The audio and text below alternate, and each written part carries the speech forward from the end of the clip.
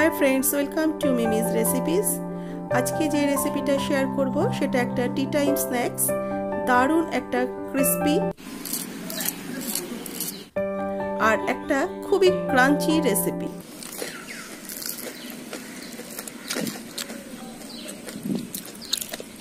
এর শব্দ শুনেই বুঝতে পাচ্ছেন কতটা ক্রিস্পি আর ক্রাঞ্চি হয়েছে। ঘরে থাকা সাধারণ কিছু উপকরণ দিয়ে তৈরি করেছি। আমি এর জন্য নিয়েছি একশো গ্রাম চিড়ে চিড়েটা প্রথমে আমি একটা বোলের মধ্যে নিয়ে নিয়েছি, এবার এটাকে একটু জল দিয়ে ভালো করে পরিষ্কার করে ধুয়ে নেব। চিড়েতে জল দিয়ে দিয়েছি, চিড়ের মধ্যে অনেক ধান থাকে, সেটা কিন্তু একটু দেখে নিতে হবে। আর চিড়েটা আমি ধুয়ে নিয়ে জল থেকে চিপে চিপে আমি এরকম ছিদ্রযুক্ত একটা থালার মধ্যে জল ঝরিয়ে নিচ্ছি। আমি আবারও চিড়েটাকে ধুয়ে নিচ্ছি। এবার ভালো করে জল ঝরিয়ে চিড়েটা আমি একটা বাটির মধ্যে নিয়ে নিলাম। চিড়েটার মধ্যে যেন কোনো রকম জল না থাকে, একটু চিপে শুকনো করে নিতে হবে। আর চিড়েটাকে আমি একটু মেখে নিচ্ছি। এবার একটা আলু আমি সেদ্ধ করে নিয়েছি। আলুটাকেও আমি একটু চটকে নেব।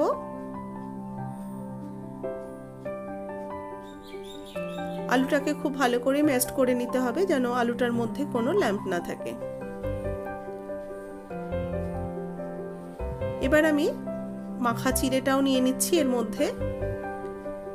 এবার চিড়ে আর সেদ্ধ করা আলু একবার একসাথে আমি ভালো করে একটু মেখে নিচ্ছি।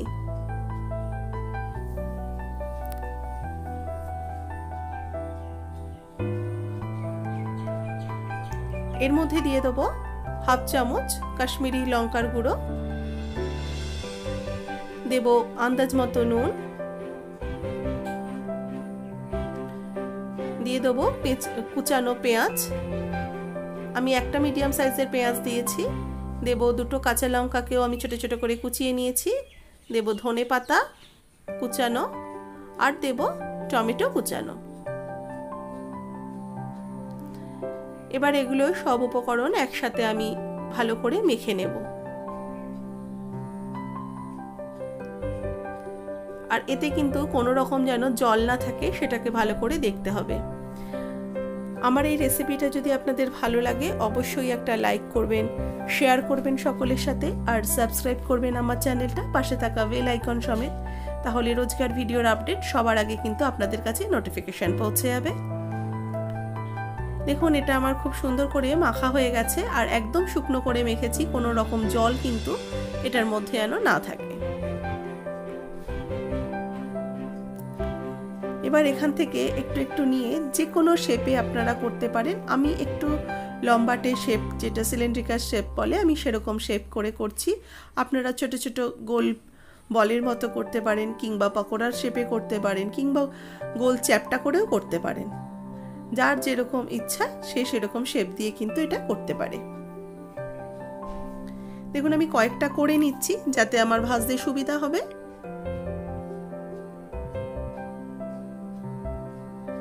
আমি একটা ফ্রাইং প্যানের মধ্যে হোয়াইট অয়েল গরম করতে দিয়েছি, তেলটা গরম হয়ে গেছে, এবার আমি একটা একটা করে এই পাকোড়াগুলো ছেড়ে দিচ্ছি।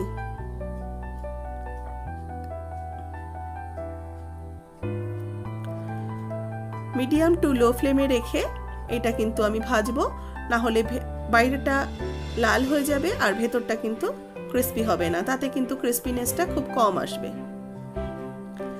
কাটা চামচ দিয়ে এগুলোকে যদি উল্টানো যায়, তাহলে কিন্তু এগুলো উল্টাতে খুব সুবিধা হয়।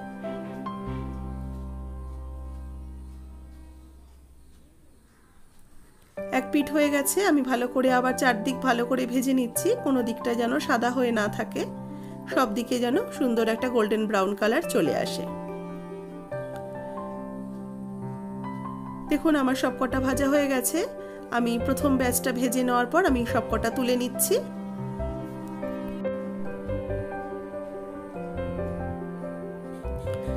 সেমভাবে আমি সেকেন্ড ব্যাচে যে কটা বাকি ছিল সব কটা আমি ভেজে নিচ্ছি।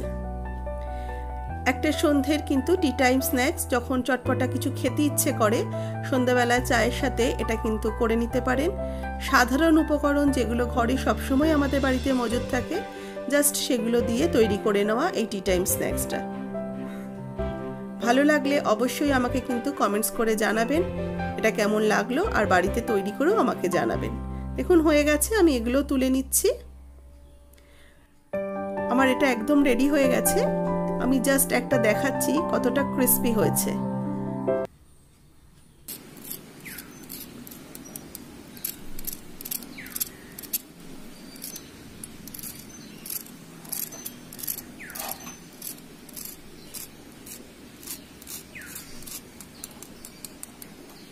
বুঝতেই পারছেন কতটা ক্রিস্পি আর ক্রাঞ্চি হয়েছে। এই রেসিপিটা যদি ভালো লাগে, অবশ্যই লাইক শেয়ার কমেন্টস করবেন। আপনাদের ফ্যামিলি ফ্রেন্ডসদের সাথে অবশ্যই শেয়ার করবেন। আর কমেন্টস করে জানাবেন কেমন লাগল। বাড়িতে অবশ্যই আমি যেভাবে তৈরি করেছি, আপনারা তৈরি করবেন। আর ভালো লাগলে আমার চ্যানেলটা সাবস্ক্রাইব করে পাশে থাকবেন।